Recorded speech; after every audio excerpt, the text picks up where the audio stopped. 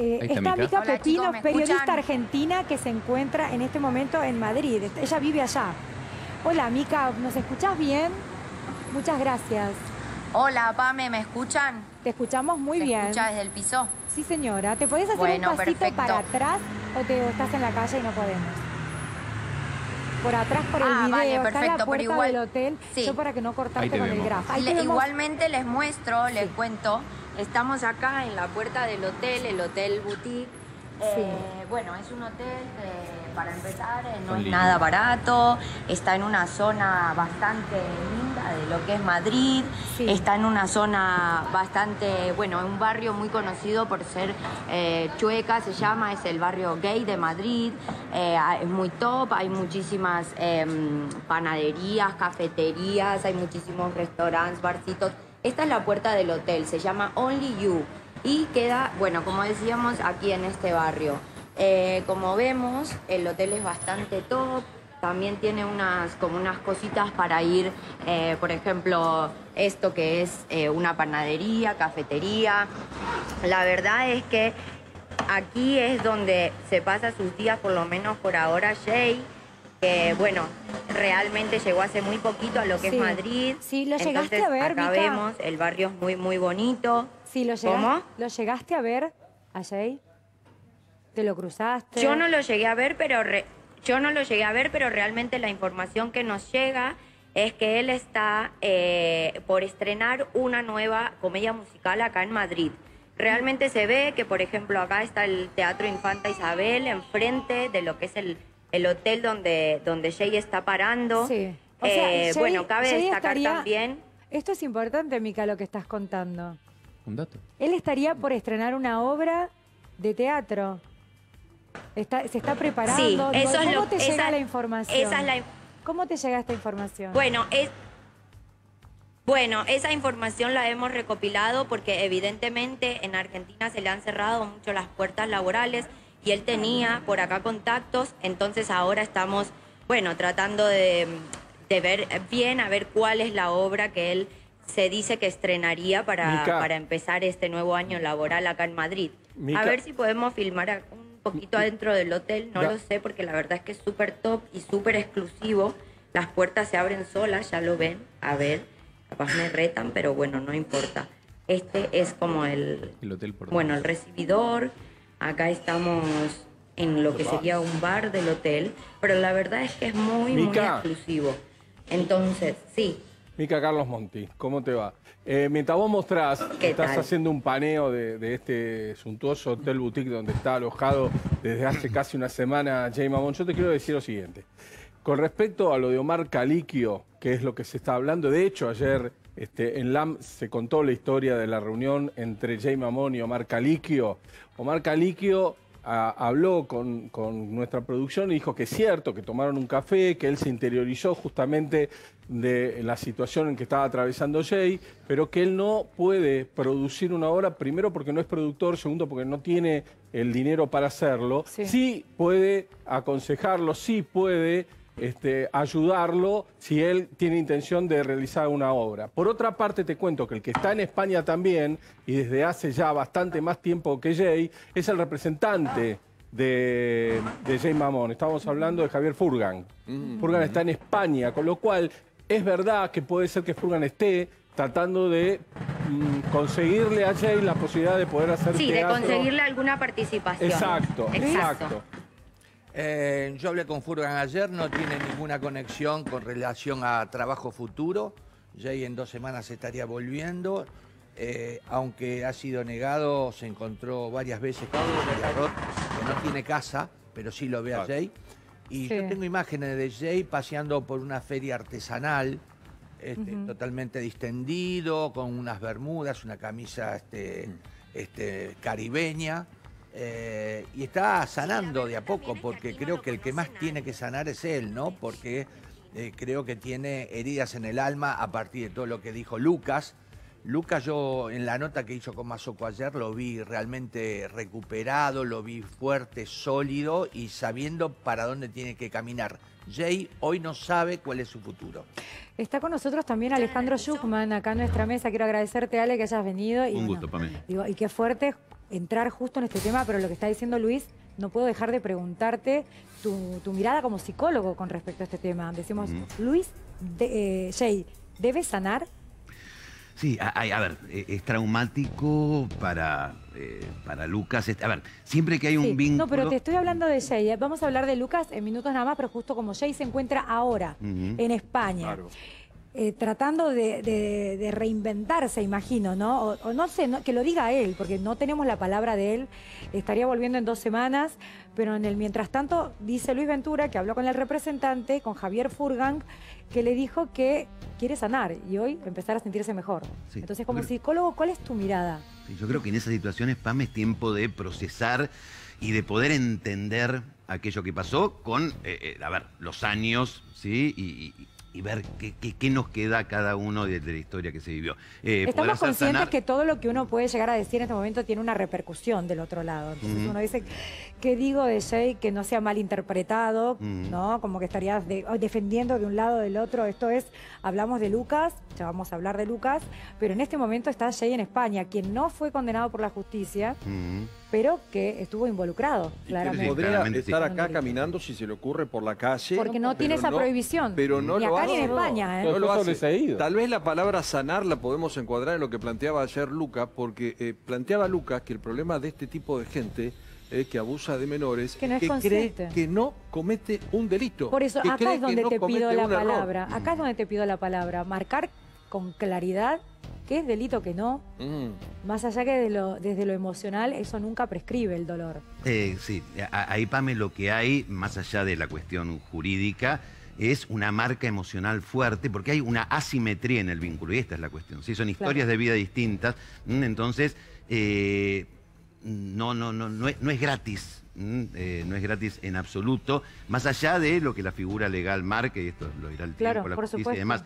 Eh, pero hay una cuestión de disparidad, donde se borra la simetría y hay un adulto que tiene que poner un límite y cuando el adulto no pone el límite, hay algo ahí que no está funcionando bien. En general Claro, hablo de las Claro. relaciones. El que tiene que poner el límite es el adulto, siempre. Siempre, siempre, porque estamos hablando de un chico y un adulto Sí. y, y el chico no, no sabe del límite porque es chico. Está Mica Pepino desde Madrid, ella es periodista argentina que está viviendo en Madrid. Mica, tenés información, te escuchamos.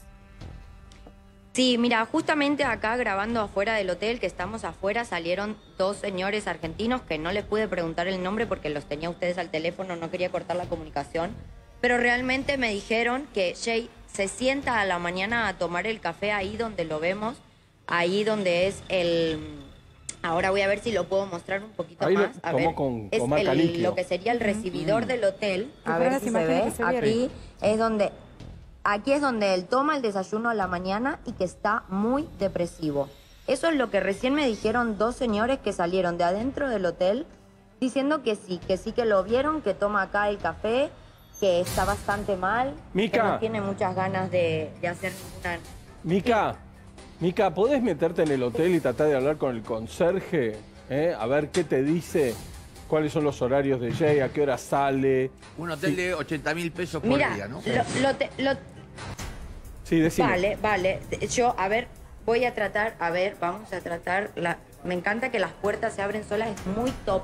Chicos, les quiero decir que sale entre 300 la noche y 500. Depende Euros, qué euros, habitación. euros, Acá claro. es Mientras donde escuchamos, Jay, estamos pasando Aquí es donde Jay se sienta a la pertenecen a la- mañana. Mm. ¿A dónde? A ver, ahí vamos a... Aquí es donde él toma el café. no está- ahí está. Está. Este es el recibidor del hotel donde él cada mañana se sienta. Claro, ese es el, el hotel. El tema es, Sí. él puede salir. Yo veía Claro a un que señor sí. con la camiseta argentina ahí en la puerta de Boca, de Sí. River. Él puede salir porque hay muchos argentinos. El, el español Sí. no adhiere tampoco a este tipo de, de Bueno, lo dijo el periodista no es que salió El problema es día. Argentina. Sí, ese periodista tiene una línea muy No. marcada, Sí. ¿no? Ah. Pero ¿cómo es, ¿cómo es en España? Mica, ¿cómo es? Bueno, no, en España, en España realmente no es como acá, porque por más que la gente te conozca, tampoco es que son personas que, te- que se van a avasallar y tirarse, y además que la mayoría de los argentinos que vive por acá está un poco desentendido de lo que es el mundo de allá. Entonces, por lo general, tampoco es que si Jay saldría, sal- saldría a la calle y, Y- y- eso, por igual, lo Mica, general, hay supongo argentinos. que no lo pararían ni nada. Hay argentinos ahí en la puerta, hay un señor con camiseta Sí. de River. Esos son argentinos Pero que por claro. algo llegaron. Sí. Claro. Sí, acá, sí, acá hay un señor, a ver, acá hay un señor argentino. ¿Quieren que les preguntemos a ver, Sí, a ver sí, porque sí, él sí, estaba claro. recién por el hotel? Miren, acá lo tenemos. Una pregunta, señor, una pregunta. Acá lo tenemos. El, pero, perdón, perdón. Eh, Una pregunta. Eh, ¿Usted lo vio a Jay? ¿Usted está parando en este, en este, en este coso? No, Este no, no, hotel. no, no lo hemos. Pero, Se comenta que estaba parando en este hotel, pero solo él. vale. Bueno, ven, la gente dice que no, que no, que no, Mica, que no pero lo ¿y han ¿por qué visto, metete en el que- hotel si podés y, y habla y habla con el conserje? El conserje, todos los conserjes de los hoteles saben a qué hora entra, a qué hora salen, con quién está. Por ahí te da alguna Sí, pista el más. tema es que los estoy tratando de buscar y lo que pasa es que es un hotel muy, muy top. Entonces, a ver, estamos Ajá. acá, vamos a ver si, miren, ¿ven? Esto es lo que es adentro del hotel. A ver, le vamos a preguntar, Ay, qué- acá hay un chico, a ver si le podemos preguntar algo. Esto es lo que es la recepción del hotel. Chicos, Sí. vean que tampoco es que se está quedando... Te hago una Ahí está, pregunta. ahí está. Entonces, Ese- ser el para Canal ¿no? América. Acá está.